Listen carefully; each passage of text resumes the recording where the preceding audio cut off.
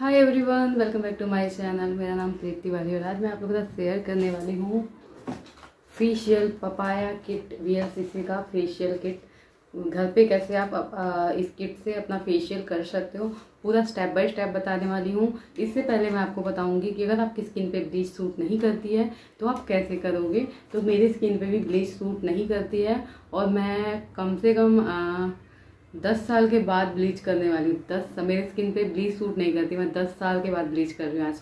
तो चलो, कैसे करना है? अगर आपकी स्किन पे भी ब्लीच सूट नहीं करता मैं बारह साल से पार्लर का काम कर रही हूँ। तो मुझे इतना एक्सपीरियंस हो गया है कि किसके ऊपर ब्लीच अगर शूट नहीं कर रही है तो उनको कैसे करेंगे और कितना, कि कैसे ग्लो आएगा उन लोगों को और बिना कोई साइड इफ़ेक्ट के। तो वीडियो होने वाली काफ़ी ज़्यादा हेल्पफुल चैनल पे नए हो सब्सक्राइब करके साथ में लगे बेल आइकन को प्रेस ज़रूर कर लेना ताकि इसी तरीके की हेल्पफुल वीडियो आप लोगों से मिस ना हो।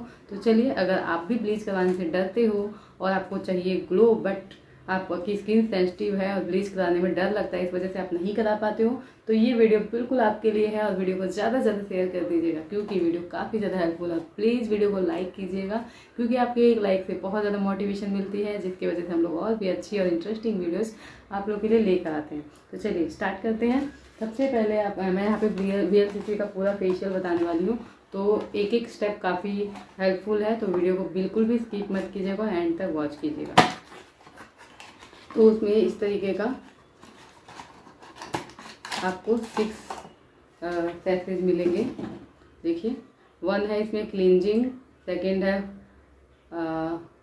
फ्रूट फेशियल का और क्लिनजिंग है सेकंड आपको स्क्रब मिल जाएगा थर्ड आपको कोकुम्बस जेल मिल जाएगा इसमें थर्ड एंड फोर्थ जो है स्टेप उनको मिक्स करके आपस में आपको मसाज क्रीम के साथ मिलाना है एंटी टेन पैक है, और लास्ट में आपको मिलेगा ऑयल फ्री मॉइस्चराइजिंग जेल जिससे आपकी स्किन काफ़ी ग्लो करेगी। तो चलिए स्टेप बाई स्टेप इसको फॉलो करते हैं। तो सबसे पहला स्टेप जो है, वो एक नंबर पी का क्लिनजिंग में। तो आपको जब भी आप ब्लीच अप्लाई कर रहे हो तो आपको क्लिनजिंग करना ही करना है फेस पे, क्योंकि आपकी स्किन पे डर्ट धूल, मिट्टी वगैरह इकट्ठी हुई होगी। और अगर आपने क्लिनजिंग किए बिना अगर ब्लीच अप्लाई किया तो हो सकता है कि आपको साइड इफ़ेक्ट हो जाए। और ऑलरेडी आपकी स्किन सेंसिटिव है। तो आप क्लिनजिंग किए बिना ब्लीच अप्लाई नहीं करोगे। तो क्लिनजिंग करने से पहले आप ब्लीच को तैयार करके रख लोगे। क्यों? क्योंकि ब्लीच को अगर आप तैयार करके बना के दो मिनट छोड़ देते हो तो वो अपना वर्क और भी अच्छे से करता है। तो चलिए ब्लीच बनाते हैं। तो सबसे पहली बात, अगर आपकी स्किन पे सेंस आपकी स्किन सेंसिटिव है, कोई भी ब्लीच सूट नहीं करती तो सबसे पहले आप ये वाला ब्लीच ले लीजिए ऑक्सी प्रो कोई भी ब्रांड का चलेगा, ये गोजस गोजस लंडन का है, इसको मैंने मीशो से मंगाया था एंड बहुत ही अच्छा है। सेंसिटिव स्किन पे मैंने किया है दो तीन सेंसिटिव स्किन पे किया है, काफ़ी अच्छे रिज़ल्ट मिले तो मैं यही अप्लाई कर रही हूँ। लेकिन अगर आपके पास ये ब्लीच नहीं है और आप नॉर्मल स्किन वाली ही ब्लीच अपने फेस पे अप्लाई करना चाहते हो तो उसके लिए भी बताने वाली हूँ तो वीडियो एंड तक वॉच कीजिएगा। तो चलिए, सबसे पहले मैं इसको ले ले रही हूँ। मैं यहाँ पर ब्रश से निकाल दी मेरा स्पैचुला मिल नहीं रहा है। तो इतना ब्लीच मैंने लिया है, इसको एक कांच के बाउल में निकाल ले रही हूँ।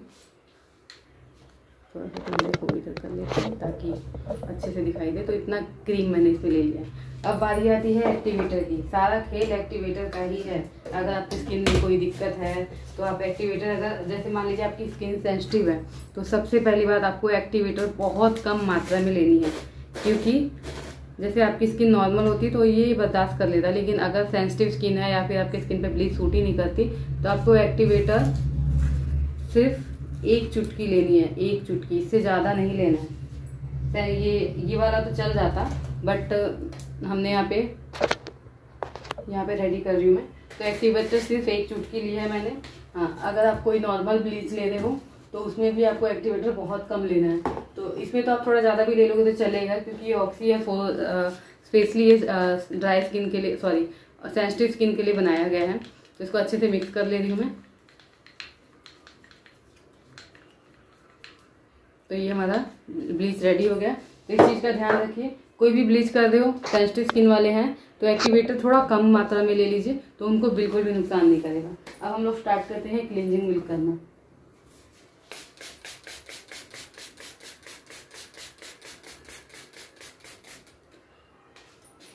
तो गुलाब जल को अच्छे से स्प्रे कर लिया है। अब आपकी स्किन को और भी अच्छा बनाने के लिए आपको थोड़ा सा ग्लिसरीन लेना है इस तरीके से। और ग्लिसरीन को पूरे फेस पे लगा लेना है।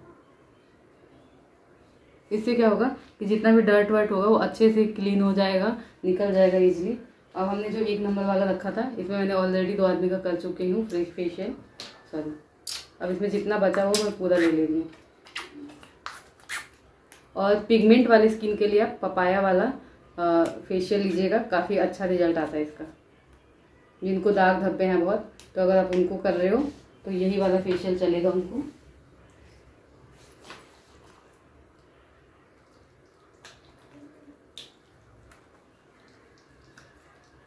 कम से कम आपको पाँच मिनट तक मसाज करना है।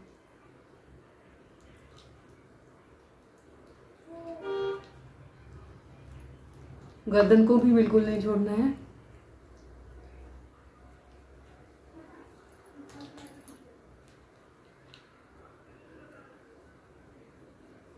तो इस तरीके से आपको पूरे फेस पे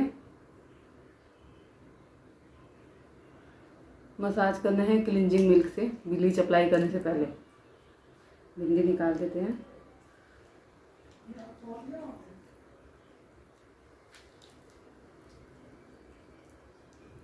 कभी भी मसाज कर रहे हो तो हमेशा ऊपर की तरफ़ मसाज करना है, ऐसे नहीं करना है। इससे क्या होगा कि लाइंस और एजिंग जल्दी दिखने लग जाएँगे ओके आईज पे आपको रिंग फिंगर से इस तरीके से मसाज करना है।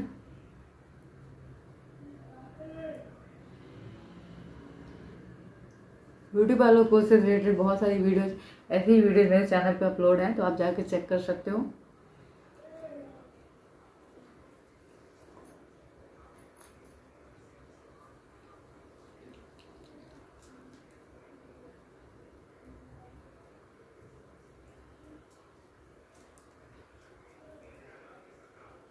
यहाँ पे आपको बिल्कुल मसाज करना होता है, यहाँ पे प्रेशर पॉइंट होता है जो दबने की वजह से हमारे आईज में जितनी प्रॉब्लम होती है, वो कम होती है। नोज़ पे इस तरीके से।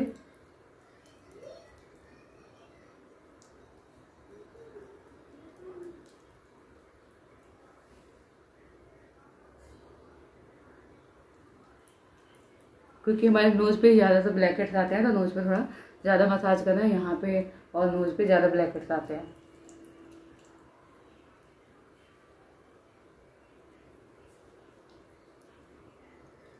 वैसे तो पार्लर जाके कराने में ज़्यादा रिलैक्स मिलता है बट आप पार्लर नहीं जाना चाहते हो तो आप घर पे इस तरीके से कर सकते हो।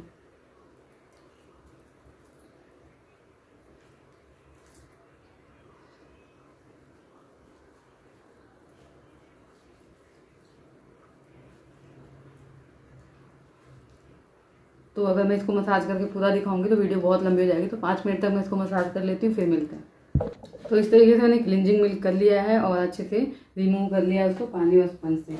अब हम लोग अप्लाई करेंगे अपना बनाया हुआ ब्लीच पूरे दस साल के बाद मैं ब्लीच कर रही हूँ फेस पे।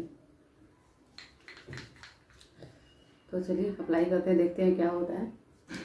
क्योंकि मैंने दस साल पहले किया था तो मेरे स्किन पे काफ़ी रेडनेस हो गई थी और पार्लर वाली भी डर गई थी। तो इसलिए मैं नहीं करती हूँ।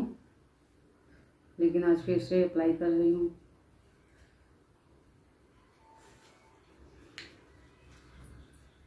क्योंकि स्किन बहुत सावली सांवली सी लग रही है।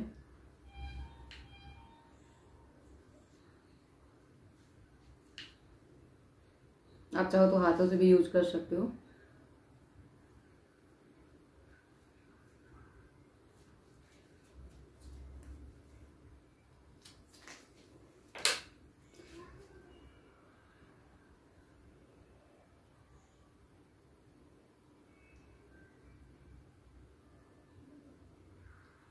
अगर आप आपकी स्किन सेंसिटिव है तो थोड़ा बहुत ब्लीच का लगना नॉर्मल है तो इससे घबराने की या डरने की बात नहीं है कि जल रहा है फेस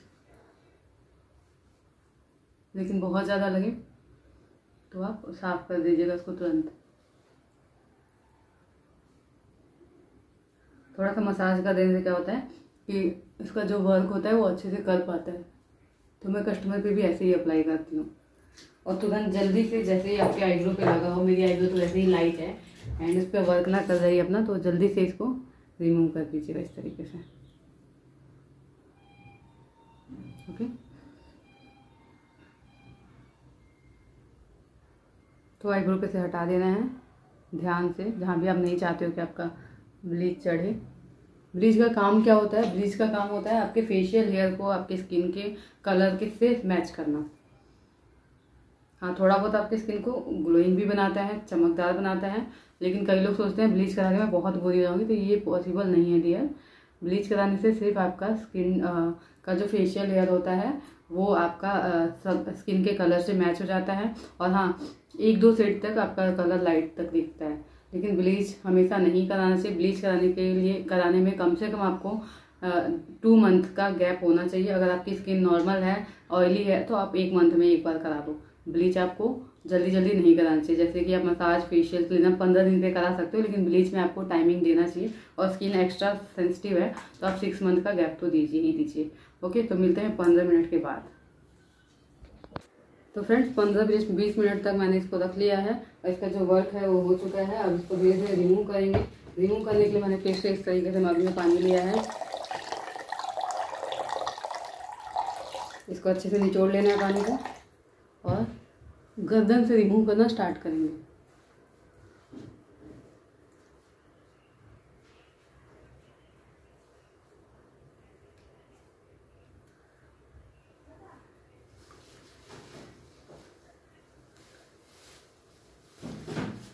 इस तरीके से पूरे फेस को क्लीन कर लेना है